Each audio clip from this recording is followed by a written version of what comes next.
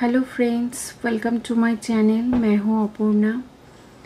आज मैं आप लोगों के साथ शेयर कर रही हूँ शिलीगुड़ी कोमाटोली का वीडियो मैं जब शिलीगुड़ी में थी, तब भी मैंने शूट किया था, पर ये वीडियो मुझे डालने में थोड़ा सा लेट हो गया, कुछ प्रॉब्लम की वजह से। इसीलिए मैं ये वीडियो आज अपलोड कर रही हूँ।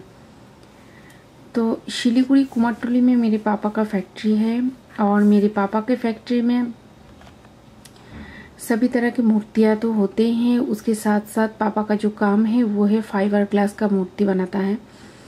आप लोगों को दिखाई देगा बड़ा बड़ा जो बुद्धा का मूर्ति है, वो और भी बहुत सारा कुछ।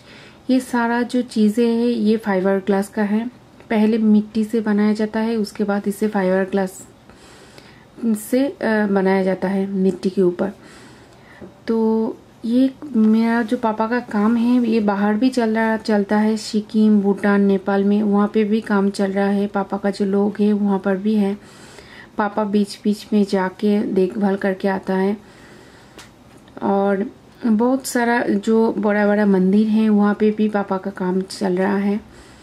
तो इस काम में बहुत सारे वर्क वर्कर भी पापा के साथ इन्वॉल्व हैं। वो लोग भी काम करते हैं। तो बहुत सारे लोगों की कड़ी मेहनत के बाद एक एक मूर्ति या एक एक स्टैचू जो है वो बनता है। और बहुत सारे फैक्ट्री हैं कुमारटुली में। तो जिस टाइम में मैं शूट किया था तब था आ, सारा जो सीज़न टाइम है वो ख़त्म हो चुके थे तब। मतलब मैं जगोधात्री पूजा के एंड में गया था तो इसी वजह से ज़्यादा से ज़्यादा फैक्ट्री जो है बंद था। क्योंकि कड़ी मेहनत के बाद सब लोग थोड़ा सा रेस्ट में था, इसीलिए। क्योंकि दुर्गा पूजा, काली पूजा, जगोदात्री पूजा तो और दुर्गा पूजा के बाद आता है लक्ष्मी पूजा। तो ये जो एक के बाद एक जो सीज़न टाइम चलता है तो इस टाइम में तो इन लोगों का खाना, पीना, नींद सब एकदम उठ जाता है। सब लोग अपने अपने काम में इतना ज़्यादा इन्वॉल्व हो जाते हैं, सब लोगों का एक ही ध्यान रहता है कि कैसे करके मूर्ति को अच्छी तरह से डेकोरेशन करके पेंडल तक पहुंचाना। और इन लोगों की कड़ी मेहनत के बाद ही हम लोगों को देखने को मिलता है इतना अच्छा अच्छा मूर्ति पेंडल में। तो मैं ये फीलिंग्स आप लोगों के साथ शेयर कर पा रही हूँ। इसी वजह से कि मैं छोटी से ही देख रही हूँ मेरे पापा और मेरे अंकल का ये काम।